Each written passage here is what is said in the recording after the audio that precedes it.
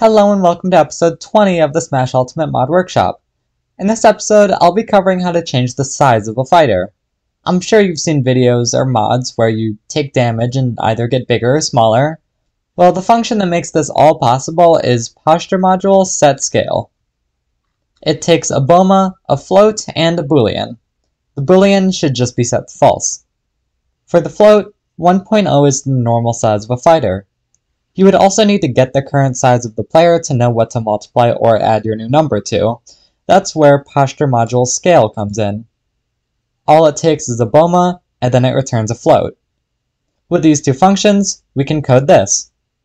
This is a fighter frame for King DDD, and when up on the D-pad is pressed, it causes him to grow.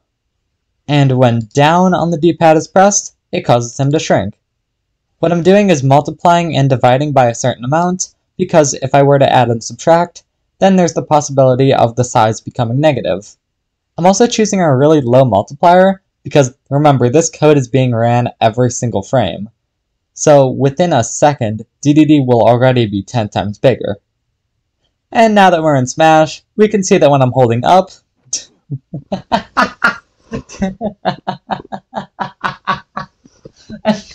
Wait.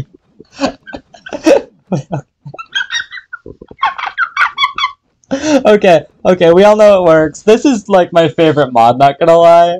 Uh, I have a video coming out, I, I don't know when, of us just messing around with this.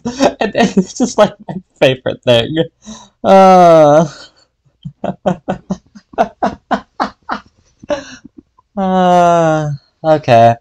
As usual, this code will be available in the description under item 1. I hope this helped and happy modding.